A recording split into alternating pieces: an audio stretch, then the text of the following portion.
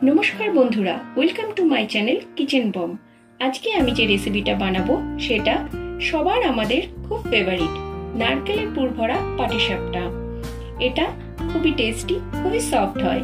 চলুন শুরু করি আজকের রেসিপি নারকেলের পুর ভরা পাটিসাপটা পাটিসাপটা বানানোর জন্য আমি এক কাপ প্রথমে চালের গুঁড়ো নিচ্ছি। এক কাপে, এখানে এক কাপ মানে আমার টু ফিফটি এম চালের গুঁড়ো আছে। আপনারা যে কাপের মাপে চালের গুঁড়ো নেবেন, সেই কাপের অর্ধেক নেবেন ময়দা।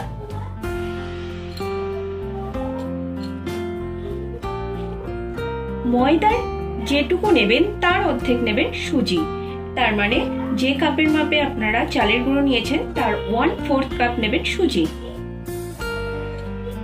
ওয়ান ফোর্থ কাপ নেবেন সুগার পাউডার এখানে আমি চিনিটাকে গুঁড়ো করে নিয়েছি আর সেটা এর সাথে মিশিয়ে দিচ্ছি। আর দেবেন এক চুটকি লবণ। এবার সমস্ত উপকরণ আমি ভালোভাবে মিশিয়ে নিচ্ছি।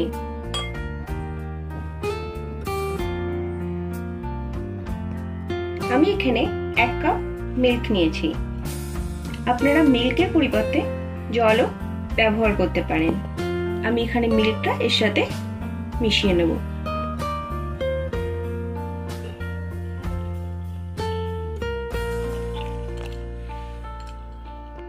এইভাবে আমি এটাকে ভালো করে মিশিয়ে নেব, যাতে এর মধ্যে কোনো দলা না বেঁধে থাকে। সেদিকে খেয়াল রাখতে হবে। এরকম স্মুথলি পড়বে স্পুনে তুললে এরকম করে আমি ব্যাটারটা বানিয়ে নেব। ব্যাটারটা রেডি হয়ে গেছে, এবার এইভাবে আমি এটাকে ওয়ান আওয়ার রেখে দেব। আমি পাটিসাপটাটা নারকেলের পুর দিয়ে করব। এক্ষেত্রে আমি দুটো নারকেল কোড়া নিয়েছি, আর নিয়েছি গুড় হাফ কাপ আর মিল্ক নিয়েছি। এবার সমস্ত উপকরণগুলো আমি একসঙ্গে এই বাউলে মিশিয়ে নেব।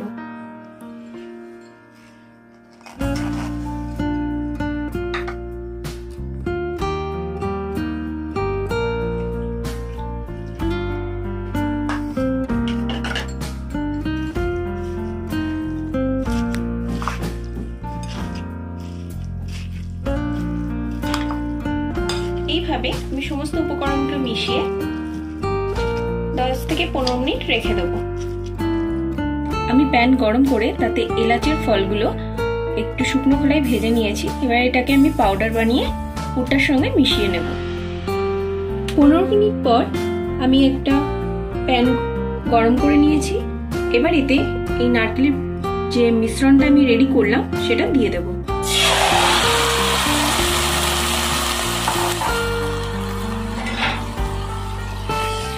এবার এটাকে ভালো করে মিশিয়ে নেব।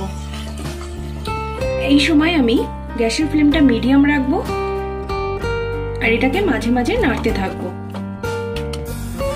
পাঁচ মিনিট মিডিয়াম ফ্লেমে রাখার পর এবার আমি গ্যাসের ফ্লেমটা লো করে দেব।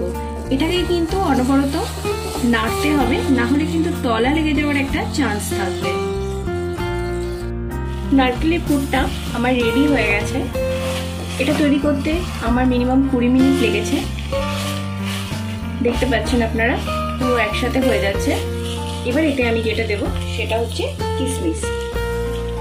আর দেব ওয়ান ফোর টিস্পুন এলাচ পাউডার এগুলো দিয়ে ভালো করে মিক্স করে নিয়ে আমি গ্যাসটা বন্ধ করে দেবো। একটা প্যান আমি গরম করে নিয়েছি। এবার এতে আমি অয়েল ব্রাশ করে নেব। এক ঘণ্টা পরে ব্যাটারটা দেখে নিই, ঠিক এরকম স্মুথ হয়ে গেছে।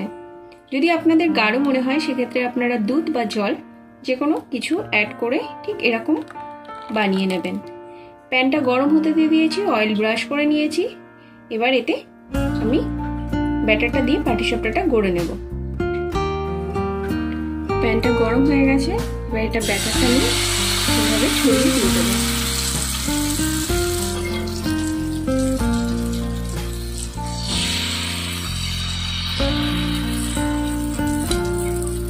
হালকা হাতে ঘুরিয়ে নেব।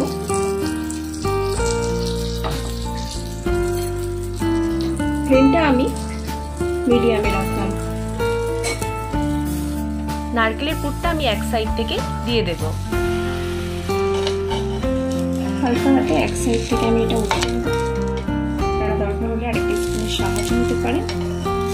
এভাবে এটাকে আমি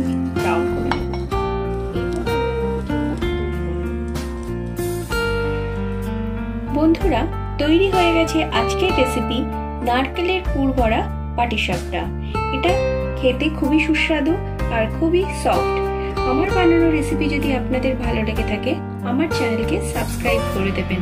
পাশে থাকা বেল বাটনটি প্রেস করে দেবেন নতুন নতুন রেসিপি পাওয়ার জন্য। ধন্যবাদ পুরো ভিডিওটা দেখবার জন্য।